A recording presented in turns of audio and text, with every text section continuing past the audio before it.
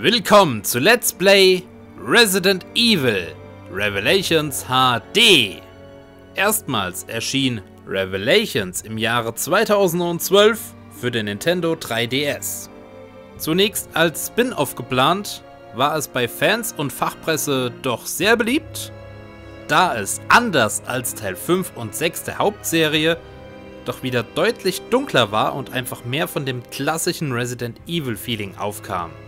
Daher entschloss sich Capcom 2013 zu einem Port auf Wii U, PlayStation 3, Xbox 360 und PC. Ich selbst habe mit euch ja schon einige Resident Evil Let's Plays abgehalten, sei es Teil 1 und Zero für GameCube und PlayStation 4 oder Resident Evil 2, 4, 5, 6 und eben Revelations 1 und 2. Ja, ich habe Revelations schon 2012 auf dem 3DS Let's Played. In einer Zeit, als ich der einzige richtige deutsche 3DS Let's Player war. Und in dieser Anfangszeit gab es noch ein kleines Störsignal, deswegen bin ich irgendwie ziemlich unzufrieden mit dem alten Revelations Let's Play. Immerhin haben wir hier eine völlig andere Generation. Ja, also Port ist ein bisschen hart gesagt, aber ein Remake würde ich es auch nicht nennen. Von 3DS auf die Heimkonsolen zu porten in HD, schon eine schwierige Angelegenheit. Aber ich freue mich sehr drauf, es ist nicht allzu lange, aber es ist nicht umsonst sehr beliebt bei den Fans. Unter anderem auch, weil Chris und Jill wieder Hauptcharaktere sind. Storytechnisch spielt es zwischen Resident Evil 4 und 5 und es ist ab 16 Jahren freigegeben. Deswegen das USK-Logo nur eher im ersten Part lediglich bei ab 18 Let's Plays in jedem Part. Dann können wir auch schon beginnen. Resident Evil Revelations.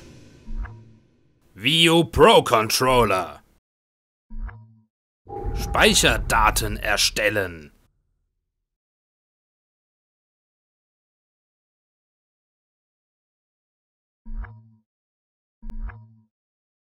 Autospeichern Funktion. Miiverse Funktionalität. Okay. An. Spoiler aus. Ist mir eigentlich Schnuppe. Herunterladbare Inhalte werden überprüft.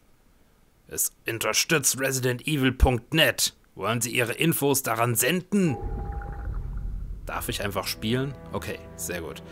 Ähm, ja, das ist das erste Kapitelchen. Ihr seht, ich habe noch kein bisschen gezockt. Ich kenne die 3DS-Variante, aber das hier dürfte sich inhaltlich nicht unterscheiden, oder? Gucken wir ganz kurz in die Option und dann kann es... Ja, nee, alles dufte. Dann kann es auch schon losgehen mit der Story und dem Intro. Viel Spaß, Leute. Leicht normal oder höllisch? Ich glaube, normal ist ganz gut.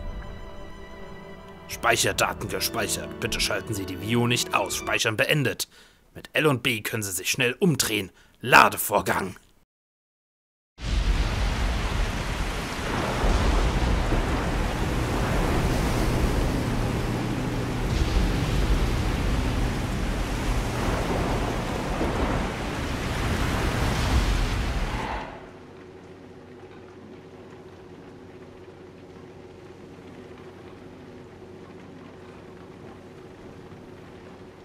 Hey, Jill.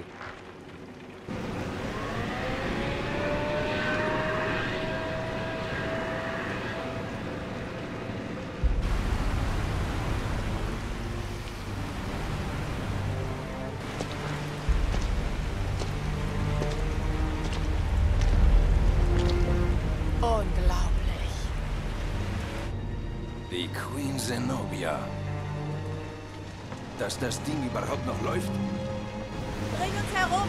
Wir müssen an Bord kommen.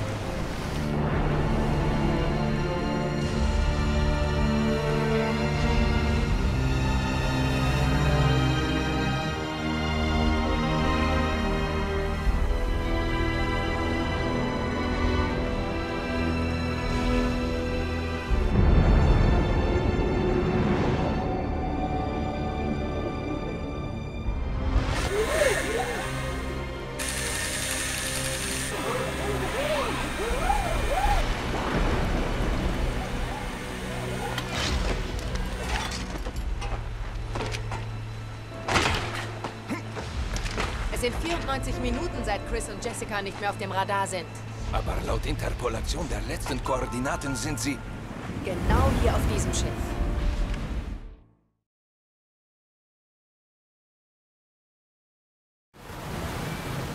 Und damit geht's auch schon rein ins Spiel. Ich finde es ein wunderbares Setting. Es muss nicht immer eine Gruselvilla sein. Auf diesem Schiff sind wir auch verloren.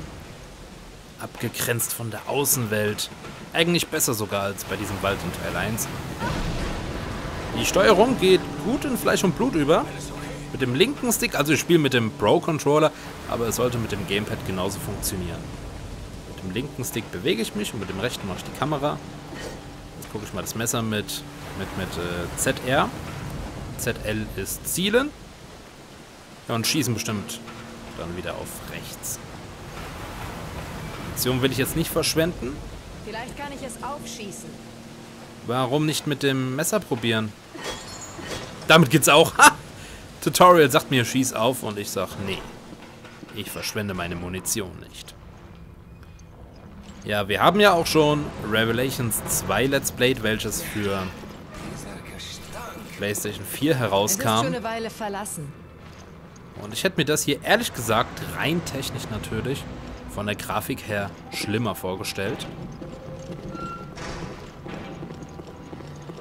Ja, ich denke, es geht klar. Ist ja absichtlich nicht für Xbox One oder PS4 erschienen und für Wii U. What the? Hey, PS3 und Xbox 360 geht das klar, ist eigentlich ganz schön. Aber mal sehen, vielleicht sind später manche Texturen nicht mehr überragend, aber beschweren will ich mich nicht. So, wunderbarer Sif. Da sabbert jemand. Übrigens ist das Spiel auch in Kapitel unterteilt, wie wir es zuletzt gesehen haben bei Until Dawn zum Beispiel. Irgendwas in den Luftung, Lüftungsschacht. Fire Extinguisher. Speicherpunkt. Hier trennt sich der Weg. da tropft Blut aus den Rohren. Hallo. Der ist aber mutiert. Sein Arm. So eine Mutation habe ich noch nie gesehen. Ach, es geht so. So eine Mutation haben wir in Resi des Öfteren bewundern dürfen. Ja, ich finde es eigentlich auch ganz nice. Ich denke immer, manche sagen, es wäre nicht so das beste Spiel, weil... Ja, oder sagen viele, dass das... Oh mein Gott, das ist altes Resident Evil Feeling, weil sie sich halt von Jill und Chris blenden lassen. Ist nur eine Vermutung, aber ich finde es ja auch nicht schlecht. Und vor allen Dingen, Revelations 2 hat mir auch sehr viel Spaß gemacht. Vielleicht kommt noch ein dritter Teil. Ich würde mich freuen. Denn die funktionieren ein bisschen anders als die der Hauptserie. Wobei wir bei Resident Evil 7 nächstes Jahr auch so einiges erwarten dürfen. Habe ich ja schon what, ein Video dazu gemacht zur Demo. Ist Aber-. Mir persönlich hat Resident Evil 6 auch sehr gut gefallen. Gut, vor allen Dingen die Chris-Kampagne war ein bisschen ätzend, aber muss ja nicht alles gut laufen. Ah, okay, das ist eine Textur, die sieht jetzt ein bisschen 3DS-mäßig aus. Das wollten die bestimmt auch nicht so detailliert machen. So, oben rechts haben wir eine Karte. Auffällig ist, dass das U Gamepad aus ist. Es gibt ja so ein paar Funktionen in dem Game, wo ich dachte, okay, cool, das ist toll auf äh, das Gamepad jetzt abgepasst, wo man den unteren Bildschirm des 3DS benutzt hat. Bin mal gespannt, wie man das hier löst. Aber bei PS3 und Xbox 360 wäre das ja auch nicht möglich gewesen. Ähm, hier liegt jemand. Hallo! Das Gesicht ist total zermatscht. Aber er liegt doch recht bequem, oder? Mal gucken. Ich will ja nicht über die Technik lästern. Aber eigentlich sieht es auch noch besser aus als Resident Evil 4. Wobei Resident Evil 4, 5 und 6 jetzt auch PS4 Remakes oder Remastered-Versionen bestimmt benediert bekommen haben. Und bei Teil 4 Sieh hätte ich schon definitiv Bock drauf. Was liegt denn hier? Parker, hilf mir hier mal. Klar, kein Problem. Blut verschmiert. Wollen wir daran? Na klar wollen wir.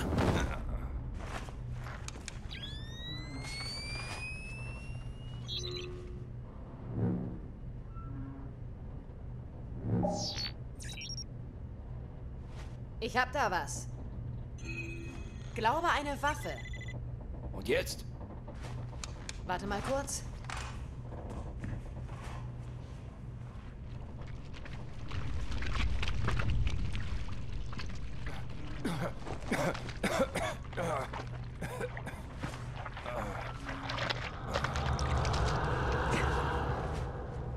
Es ist also nicht Chris.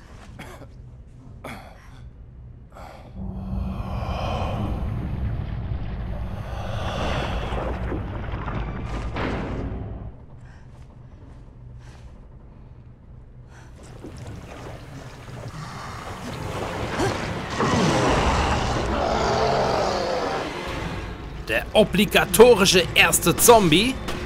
Wobei es sind eher BOW. Bioorganische Waffen. Diese Mutanten. Denn die Zombie-Ära ist ja eigentlich schon vorbei. Wie man sie kennt. Aus Teil 1 bis 3. Komm, Parker, hilf mir. Du hast unendlich Munition. Ich nicht. In the face.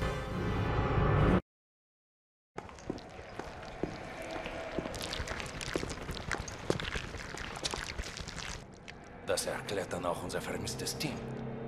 Das ist nicht gut. Wo bist du, Chris?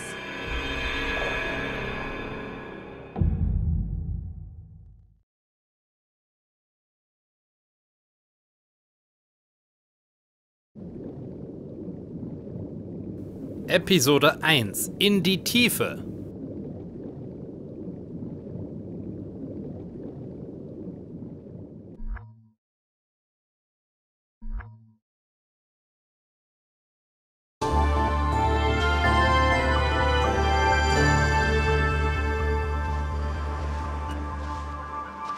Dieser sonnigen, idyllischen Mittelmeerküste stand einst eines der weltgrößten Bauwerke.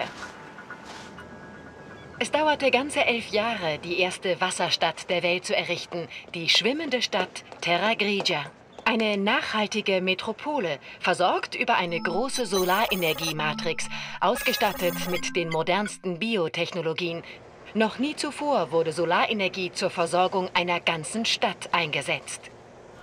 Aber 2004 hat Veltro, eine terroristische Vereinigung, gegen die aufstrebende Stadt einen Bioangriff gestartet. Sie setzten einen Virus frei und etliche Kreaturen, bekannt als BOWs. Diese Kreaturen jagten wild durch die abgeschottete Stadt und infizierten die Bewohner. Die FBC, die führende Anti-Bioterror-Organisation unter der Leitung der Vereinigten Staaten, wurde hergerufen, um den Angriff einzudämmen. Die BSAA, eine Anti-Bioterror-Organisation, die unabhängig von der Regierung operiert, schaltete sich als Beobachter ein, um die FBC zu unterstützen. Entschlossenes, schnelles Handeln war vonnöten. Und so gab das örtliche Hauptquartier den Befehl, die Solarenergiematrix der Stadt gegen sich selbst zu richten.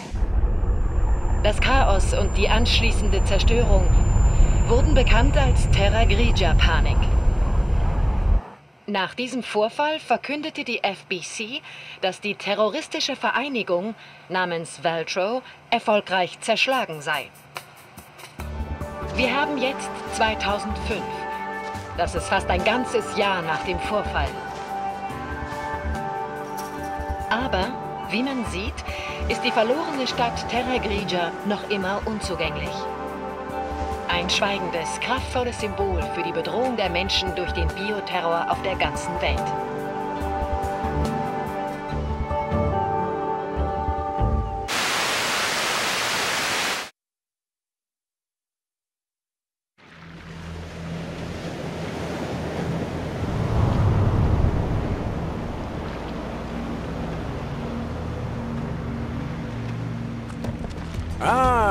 Da seid ihr ja. O'Brien, auch mal wieder mit von der Partie? Tja, mein Arzt hat mir Bewegung verschrieben. ihr wisst wahrscheinlich, dass die FBC das gesamte Gebiet abgesperrt hat. Aber in den letzten paar Wochen sind einige merkwürdige Kadaver angespült worden. Das konnte die FBC vermutlich nicht einfach totschweigen, ne? Jeder, der weiß, was hier passiert ist, kann eins und eins zusammenzählen. Genau deswegen habe ich die BSAA zur Untersuchung hingeschickt. Habt ihr schon eure neue Ausrüstung von Quint bekommen? Die Genesis oder so. So heißt sie doch, oder?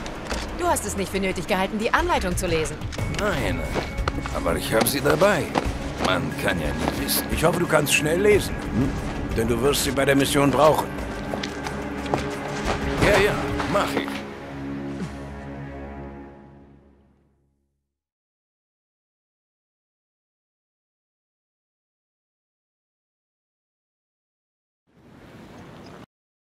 Okay, Leute, das Genesis. Eine Art Scanner. Aber erstmal ganz kurz, ne? Ist klar, das hier spielt vor den Ereignissen auf dem Schiff, auf der Queen Zenobia. Ich wollte es nur mal dazu gesagt haben. Genesis Handbuch Version 1.09. Genesis, der Spitzname eines hochmodernen Bioscanners, der zurzeit vom Global Pharmaceutical Consortium getestet wird. Er scannt das Ziel mit einer speziellen Synchrotronstrahlung. Die Ergebnisse nutzt er anschließend zur Analyse. Virenanalyse. Auch kleinste Virenmengen können entdeckt und analysiert werden. Impfstoffherstellung. Version so und so ermöglichte es erstmals einfache Impfstoffe auf Basis der Virusanalyse herzustellen. Aufspüren. Mithilfe der Synchrotronstrahlung kann man auch bestimmte Gegenstände aufspüren. Die Daten für Munition, Heilkräuter usw. So sind im internen Speicher für weitere Tests hinterlegt. Wenn sich ein entsprechendes Objekt in der Nähe befindet, leuchtet der Bildschirm in der unteren rechten Ecke auf. Und dann scannen wir mal hier am Strand von Terra Grigia mit dem Genesis ein nicht so ganz spannender Abschnitt, aber er muss sein und das im ersten Part, um euch ein besseres Bild von Resident Evil Revelations zu machen, müsst ihr wohl ein paar Parts dranbleiben. Das vorab, denn dieses Strandgesuche mit dem Genesis nicht repräsentativ. Die ganzen Schleimbolzen müssen wir scannen. Metall Da entdeckt. ist. Da ist was drin. Das klingt doch schon mal sehr spannend. Vorsichtig. Keine Sorge, das habe ich schon mal gemacht.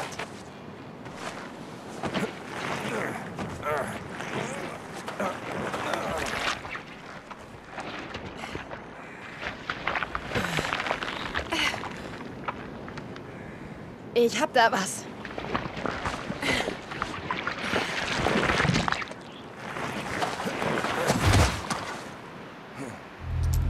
Ist das? Vielleicht eine technische Mutation. Das wäre der Beweis. Ich führe damit ein paar Tests durch. Macht ihr einfach mit der Untersuchung weiter.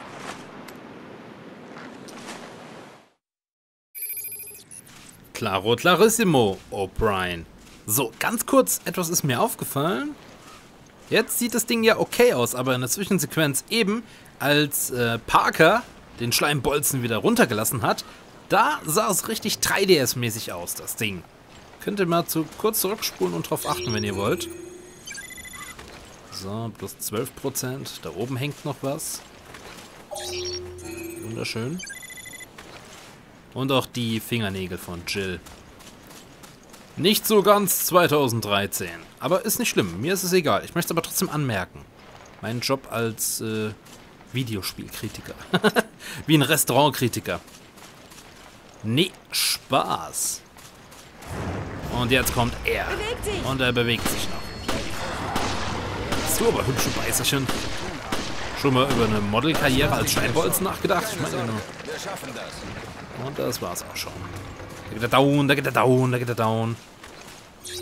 Ich hoffe es zumindest, denn ich nähere mich jetzt und scanne ihn mit Erfolg. Das doch Kinderkram sein. 50%. Schönes Krötes, Warum hast du eigentlich Kraut. die FBC für das hier aufgegeben? Ich wollte näher dran sein. Ich wollte kämpfen. Wie ich sehe, seid ihr okay. Macht weiter mit der Untersuchung, aber äußerst vorsichtig. Wie Jill der Frage erstmal ausweicht mit Raccoon City. Was war das denn jetzt? Dieser Geruch. Das muss das Gas sein. Was für 60%. Muss hier nochmal gucken. 11%. Ich dachte, das wäre viel kleiner. Es gibt ein 1% Stückchen. Das will ich nicht übersehen. Das wäre ziemlich schade, Marmelade. Oh, hab genug Munition. Das ist aber ärgerlich. Äh, Granate. Das ist gut. Das ist doch irgendwie... FBC. Hier hat sich bereits jemand umgesehen. Die BSAA und die FBC. Wir haben nicht genug Daten für eine genaue Analyse. Sammelt mehr Proben von den Kadavern am Strand. Alter, ich bin doch dabei. Stress doch mal nicht. Das ist nur ein Item, ne? Objekt. Auch wieder Munition. Noch mehr Munition. Ich gehe am Krückstock. Hm. Ich kann nur ganz kurz auf den Steg gehen. Denn ich würde gerne einen Steg essen. Wortwitz. Jetzt liegt hier was auf dem Weg. Wir können uns damit bewegen, aber relativ lahm.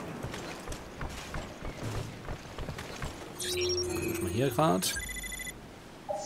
94 Prozent. Tatsächlich irgendwas nicht gemacht. Der zählt. Also den haben wir eh schon gescannt, das weiß ich ja.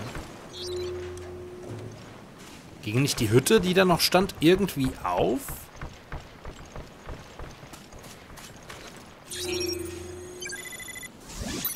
Hundert Prozent. Dann ist ja gut.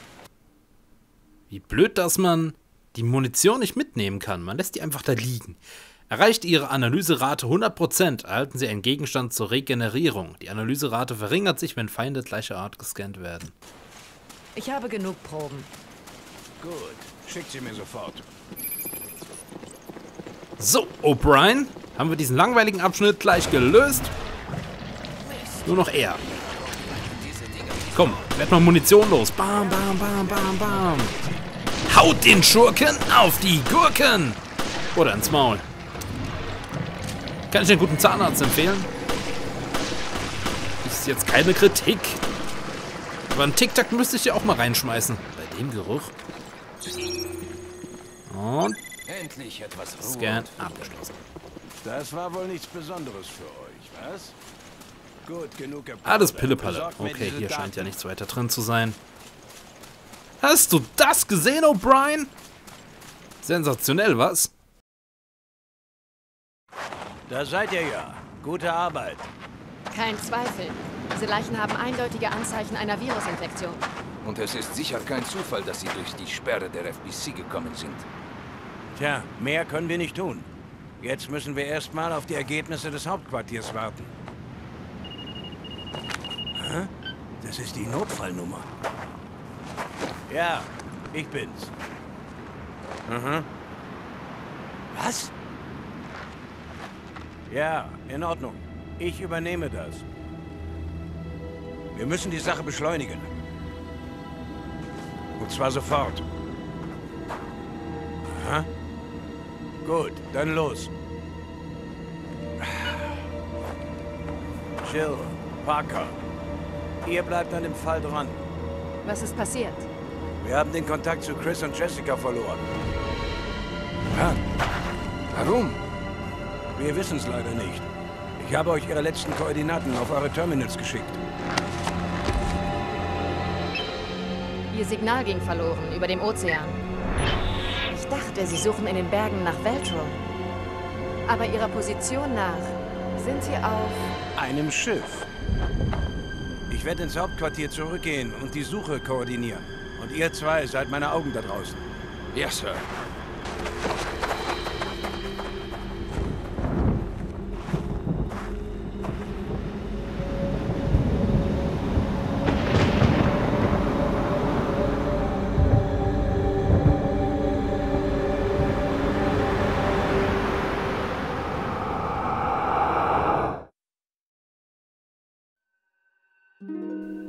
Das war der erste kleine Bereich. Rang S, also alles super. Ich weiß, dieser Part hat nicht viel ausgesagt, aber es war ein Start.